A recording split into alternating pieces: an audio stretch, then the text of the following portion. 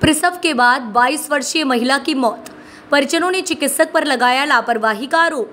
पोहरी थाना क्षेत्र के अंतर्गत आने वाले भोजपुर गाँव की एक 22 वर्षीय आदिवासी महिला सोना आदिवासी के प्रसव के बाद जिला अस्पताल में उपचार के दौरान मौत हो गई।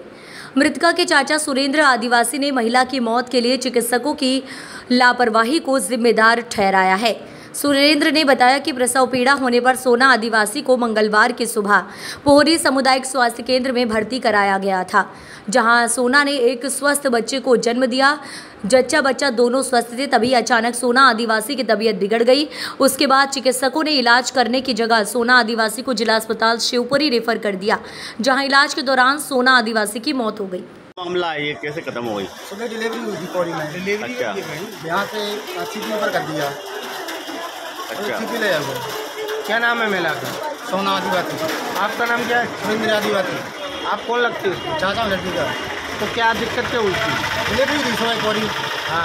उसके बाद में डिलीवरी बढ़िया हो गई। नॉर्मल हुई थी? हाँ। उसके बाद मैंने सीपी पर कर दिया। शिवर शिवरी रेफर कर हाँ। क्या क्या क्या? सीपी ले उसको तो भाई। बच्चा हुआ है? बच्चा को है। बच्चा ठीक है? बच्चा ठीक है। माँ की मौत हो गई है। माँ की मौत। माँ की उम्र कितनी होगी? बाईस बाईस बार आपको क्या लगता है किसकी लापरवाही की मौत हुई है? डॉक्टर की लापर- लापरवाही समय लगता है। क्या लापरवाही बरती उन लोगों ने? तो स्वामी तो की नहीं तो यही नॉर्मल डिलीवरी हो जाएगी कुछ नहीं है अच्छा पहले ही नहीं बताया कि सुपरी ले नहीं बताया था। जब डिलीवरी हो रही थी उनकी उसके बाद में बताया उन्होंने। पैसे वगैरह भी लिए थे क्या आपसे? नहीं पैसे में से कुछ नहीं ले